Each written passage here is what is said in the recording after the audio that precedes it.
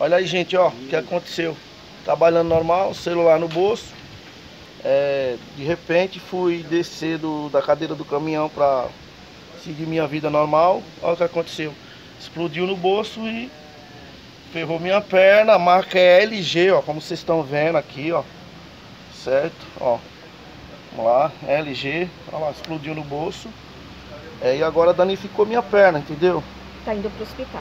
Vou pro hospital, vou ver o que é que tem que fazer aqui. Que dia que é hoje, Cícero? E hoje é É, terça-feira, né? Dia 13 de, 13 de agosto de 2019. de 2019. Tá Como ótimo. diz o Zagalo, 13 é azar. Hoje é dia 13 aí, mas vamos embora. Então, Falou. vou lá no médico, vou ver o que é que dá.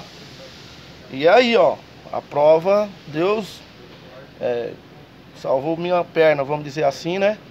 E que a- Tomar alguém que cuidado. fabrica esse troço aqui, vamos ver se tem alguma uma coisa que super previne esse aquecido. tipo de situação, porque se é numa criança, filho, já foi. Ela vai sofrer muito. Eu não, eu sou um cara adulto, não tenho medo de. de- Mas ó, tá Não torrada cai com pouca dele, besteira. ó. Aqui, o tipo de queimadura. Mas é, o negócio é meio. Foi meio sinistro. O pessoal viu, correu, tentou me.